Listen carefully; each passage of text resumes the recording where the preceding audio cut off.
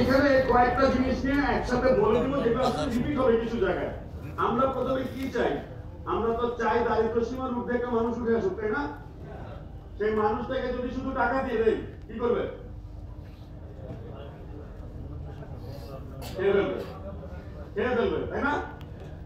দুই বেলা খাবে, বড় তিন বেলা খাবে, এক মাস খাবে, দুই মাস টাকাটা শেষ। সেই মানুষটাকে যদি তার সক্ষমতা উন্নয়ন করা হয়, কোন ক্ষেত্রে বলেন তো? আয়বর্ধক খাতে। কোন একটা আয়বর্ধক খাতে যদি তার সক্ষমতা উন্নয়ন করা হয়, তাকে যদি আমরা বাজারের সাথে সংযুক্ত করতে পারি, তাই না? সেটা দেশীয় হতে পারে, আন্তর্জাতিক বাজারে হতে পারে। বলেন তো আন্তর্জাতিক বাজারের সাথে সংযুক্ত করার মতো কোনো কাজ কি পদক্ষেপ করে? কি করে?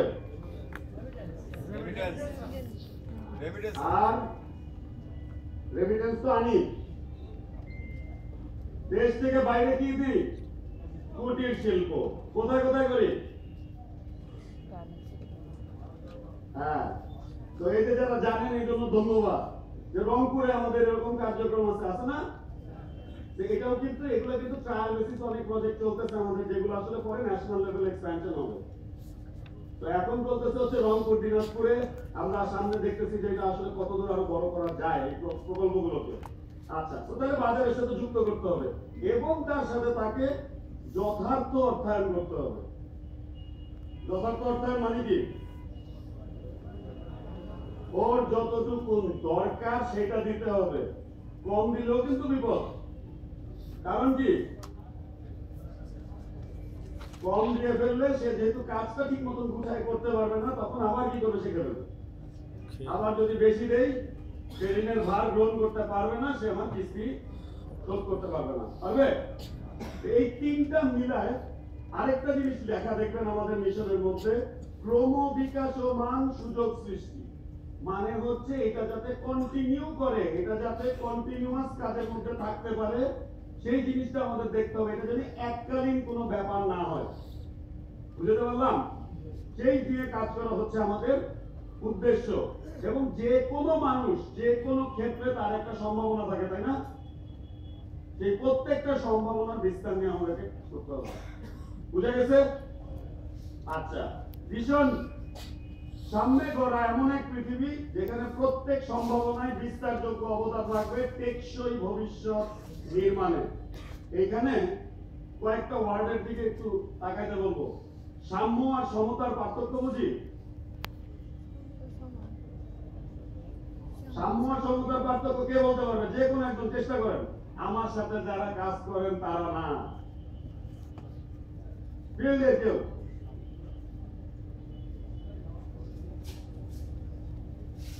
কাছাকাছি। পুরোপুরি না। আর কেউ?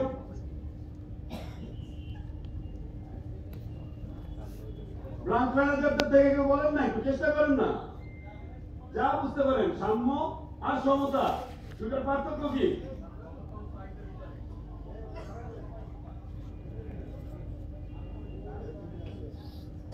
আমি বলছিলাম যারা আমার সাথে কথা বলেন সবসময় কাজে থাকেন তারা দিতে হবে না।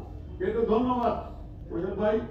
আমাদের সাম্য আর সমতার পার্থক্যটা বোঝাটা খুব জরুরি। এইমাত্র প্রেসিডেন্ট স্যার বক্তব্য দিয়েছিলেন নারী কর্মীর বিষয়ে। আমাদের একটা সেশন আছে এটা নিয়ে।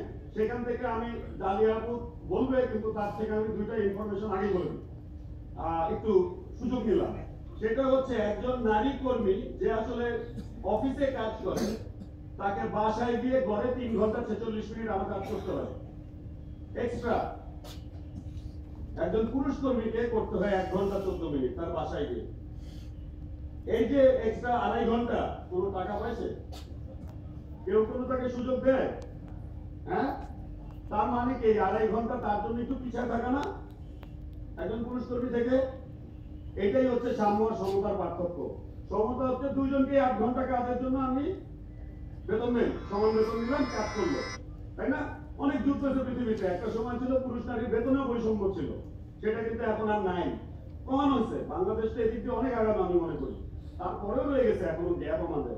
কিন্তু এর বাইরে এই যে একটা এক্সট্রা কাজ তাকে করতে হয়, এই কাজটার জন্য কি হয়? তাকে কিন্তু তার ক্যারিয়ারে পিছনের একটা প্রবণতা তৈরি হওয়ার সুযোগ থাকে। থাকে কিনা সমতা হচ্ছে দুইজনকে আট ঘণ্টা কাজের জন্য বেতন দিলাম, আর সাম্য হচ্ছে এই যে এক্সট্রা কাজটার জন্য তাকে হয়তোবা ব্রাঞ্চে আমি বললাম যে আপনি আজকে ছয়টার সময় চলে যান, আপনার কাজের বাকি অংশটা পুরুষ কর্মীরা মিলে আপনার কাজটা আগায় দেবো।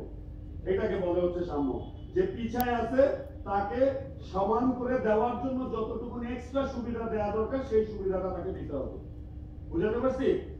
আমাদের যেহেতু পিছিয়ে পড়া জনগোষ্ঠী নিয়ে কাজ, সাম্য তৈরি করার জন্য আমাদেরকে এই কথাটা মাথায় রাখতে হবে। প্রত্যেক সম্ভাবনায়, এই যে আমরা বলি আমাদের উপজাতীয় ভাই বোন থেকে শুরু করে কেউ হয়তো কারও পায়ের সমস্যা, কারও হাতের সমস্যা, কারও চোখের সমস্যা থাকতে পারে না আমাদের মধ্যে, কিন্তু প্রত্যেকেরই কোনো না কোনো সম্ভাবনা আছে। আমি জাপানের একটা উদাহরণ দেই। ও এক, একটা ছেলে আছে যে শুধুমাত্র মুখ দিয়ে কথা বলতে পারে না, কিচ্ছু করতে পারে না, শুধু একটা আঙুল নাড়তে পারে। তার বডির আর কোনো কিছু, পুরো বডির কোনো কিছু মুভ করতে পারে না।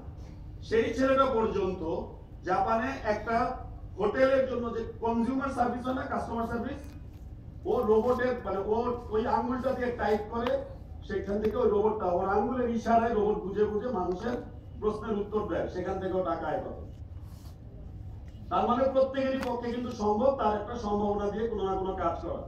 আমাদের মাথায় যেটা রাখতে হবে, পদক্ষেপ যেই সম্ভাবনাগুলো খুব ছোট ছোট, মনে করেন পাঁচজন দশ জন করে, ওগুলো নিয়ে কাজ করতে আসলে পদক্ষেপের কিন্তু দরকার নাই। সেই জন্য কিন্তু এলাকা ভিত্তিক অনেক সংস্থা আছে আছে না?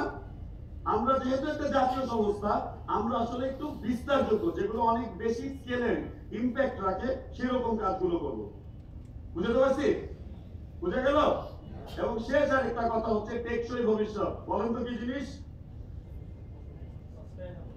আমরা কিন্তু আমাদের পরের প্রজন্ম থেকে লোন নিয়ে পরিবেশ নষ্ট করতেছি। করতেছি না? আবহাওয়া নষ্ট করতেছি, জলবায়ু নষ্ট করতেছি, খনিজ সম্পদ নষ্ট করতেছি। করতেছি? এগুলো যাতে কম নষ্ট করি অথবা আবার একটু ফেরত দিতে পারি, তাতে যাতে সাস্টেইনেবল হয়, যাতে আমাদের ভবিষ্যৎটা আমাদের নেক্সট প্রজন্ম যাতে আসলে পৃথিবীটা পায়, সেটাও আমাদেরকে নিশ্চিত করে যেতে হবে। বুঝতে তাই আমাদের ভিশন হচ্ছে সামনে গড়া এমন এক পৃথিবী। সবাই বলেন না একসাথে?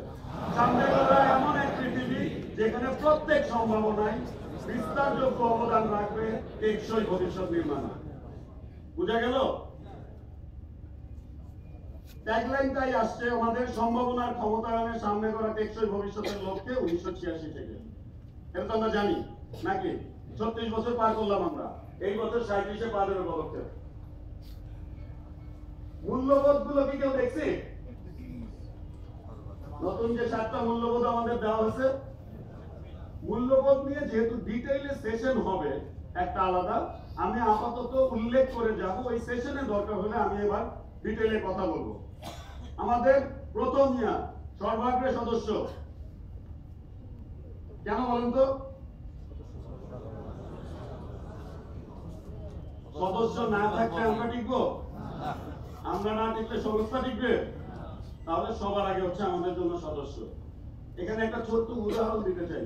অনেক ছোট ছোট উদাহরণে বোঝা যায় আমরা আসলে এই মূল্যবোধটা ধারণ করি কিনা। আমার কাছে খবর আসলো মাঝখানে। হেড অফিস থেকে বলা হয়েছে বিও লোন ট্রেনিং অ্যাটেন্ড করবে অটোমেশনের যদি বিও লোন একটু দুর্বল হয়